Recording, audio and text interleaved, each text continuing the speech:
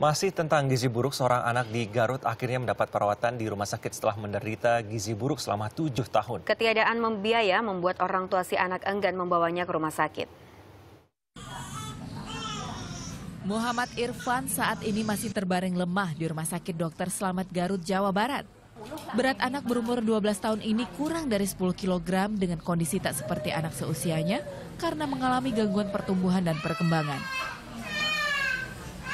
Anak dari pasangan Mamat dan Neng warga kampung Bang Bayang, Desa Mekar Asih, Kecamatan Malangbong, Garut ini menderita gizi buruk sejak umur lima tahun.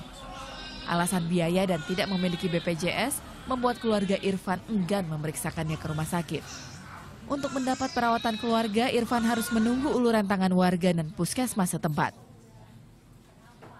Ya kami rawat dengan diagnosa malusu berat, gangguan gizi buruk, hmm. dengan gangguan penyerta palsy dan uh, anemia.